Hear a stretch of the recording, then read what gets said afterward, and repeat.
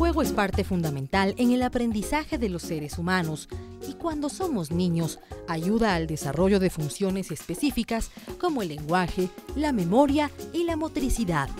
Actualmente quienes diseñan juguetes se aseguran que estos ofrezcan horas de diversión y que también estimulen los sentidos y capacidades de los más pequeños según su etapa de crecimiento.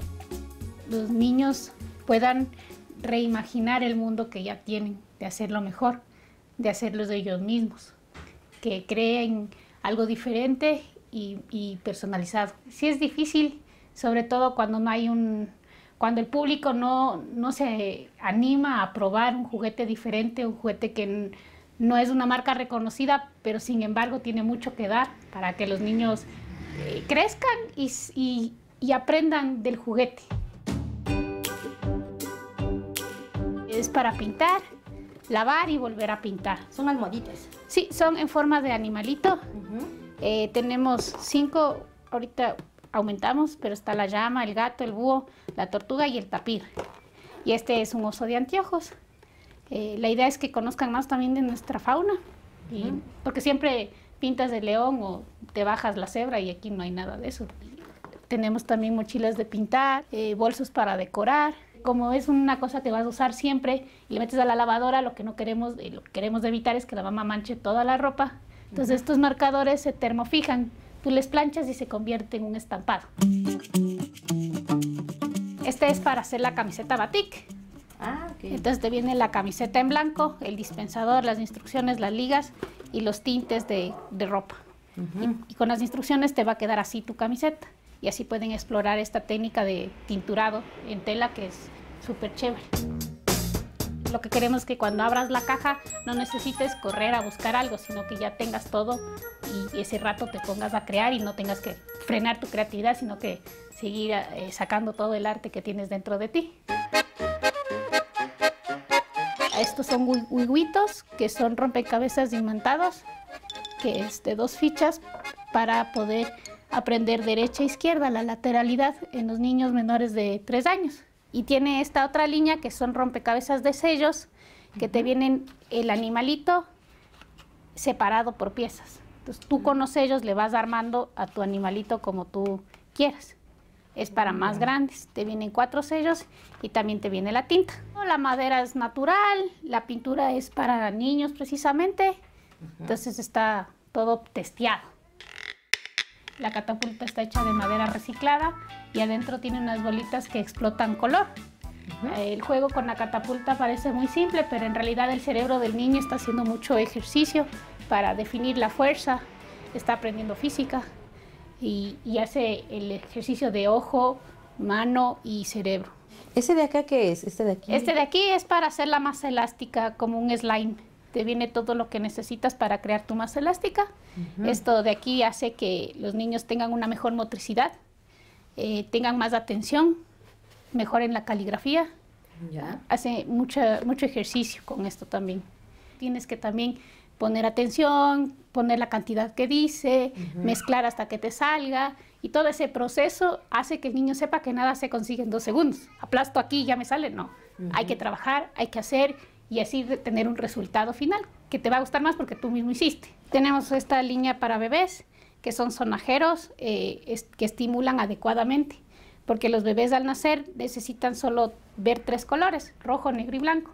Con eso su ojo se va a estimular de una manera adecuada. No todos salen iguales, va combinando telas y son de su creatividad, el, muñeco que le sale. La combinación de telas, son diferentes telas, diferentes texturas. Estas extremidades largas, porque les están jalando, les están dando vueltas. Entonces es, eso les encanta a los niños, ¿no? Para, o chuparse. Y como todo es de telas eh, que no dan alergia, no, no tienen ningún inconveniente. Son rompecabezas artesanales, las fichas están hechas eh, una por una y pintada una por una. Lo difícil de este y interesante es que no tienes un marco donde te limita dónde va qué ficha, sino que es una figura. Así que cuando desarmas es más interesante el armar. no hay un a qué seguir, sino que vas probando, vas probando. Esta carpa, que es un cohete, Ay, qué bonito. Le cuelgas en el techo, eh, le coges de aquí para que Claro que sí. Wow, te viene con el asiento, un cojincito. el cojicito y es un, un lugar seguro y secreto para que el niño Claro. despierte toda su creatividad, se meta a leer, tiene hasta para poner la clave. No sé si te acuerdas cuando eras chiquita y te metías debajo de la mesa. Ajá. Eso es prácticamente lo que hace esto. El niño va a buscar siempre un, un lugar seguro donde experimentar, crear y sentirse él en su mundo.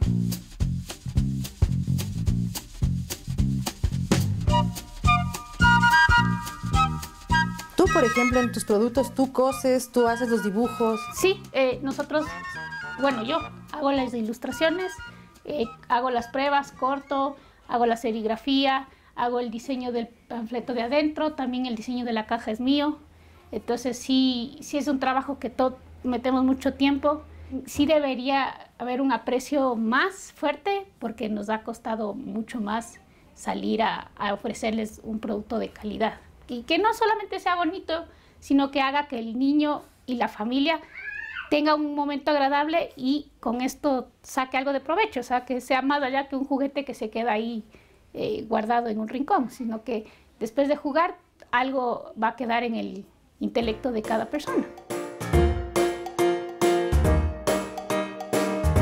Nuestro cliente que se lleva la mayor expectativa de nosotros son los abuelitos y los padres, ¿no? Porque dice, yo esto tenía antes, esto me hace recordar a mi época de antes y, y bueno, les da, les da mucha emoción.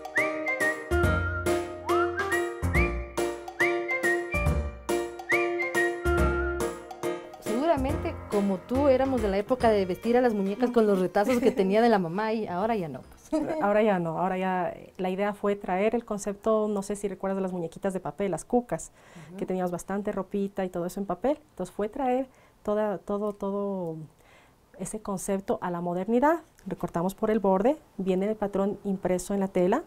Es una tela inteligente, se llama inteligente por el hecho de, de ser antialérgica para las niñas. No se deshila los bordes y únicamente damos la vuelta y la piecita cosemos por los bordes generales donde tenemos entremarcado con las líneas punteadas. Que además ahora te deben pedir de todo, porque hay vestidos, hay carteras. Sí, por ejemplo, en la Navidad creamos, creamos este, este vestido, vestido de fiesta que nos pedían porque decía para, para la Navidad necesito un vestido de fiesta largo. Entonces creamos estos vestidos, igual eh, les, les combinamos con accesorios, con zapatitos, sombreritos, que nos apoyamos en cosas que están comercializadas. No solamente lo hacen con muñecas, sino también hay las niñas a las que les encantan los peluches.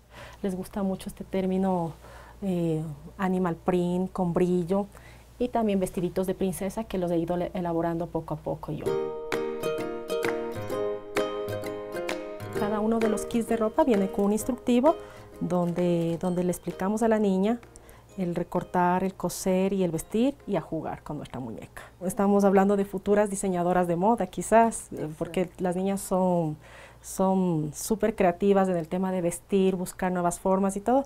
Y ellas han sido, mi, eh, han sido mi principal inspiración para buscar colores, combinaciones, porque quieren aproximarse mucho a la moda de, de- de lo- del adulto. Aquí tenemos una cama que es básicamente súper minimalista, es completamente fabricada en metal. Entonces esta, le creamos un colchón, el mismo que es, tiene una base magnética para que no se resbale, puedan, puedan jugar. Y a esto se le agrega a la camita el, el pack de tendido, en donde volvemos a hacer la misma actividad de recortar, coser y rellenar los almohadones. Este ejercicio del coser, de Sí, es recortar, o sea, es para desarrollar, exacto, la motricidad y hacer una actividad didáctica. La idea en un inicio era que, que estos juguetes eh, trasciendan en el tiempo. Pasen del primer niño a un segundo niño y hasta un tercero y hasta un cuarto. Claro que con el tiempo a lo mejor se raya la pintura, pero el juguete en sí va a seguir. Este es un, un correpasillo, es decir, es totalmente elaborado en, en metal, acero negro, es decir, está diseñado para que nuestros niños eh, aprendan a coger equilibrio, a hacer un ejercicio desde, desde temprana edad y por ende pues se desarrolla el equilibrio en cada uno de ellos. Esta es una, una rueda industrial. Ella tiene unos rodamientos eh, resistentes para la intemperie.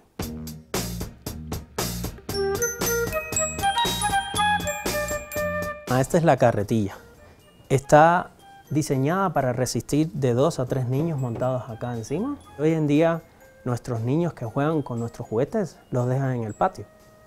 Y por eso nosotros eh, buscamos acabados que sean resistentes a la intemperie, es decir, a la influencia del clima, a la influencia del sol y a la lluvia. Los juguetes deben ser autoconstructivos y lograr que el niño explote su creatividad de una manera divertida.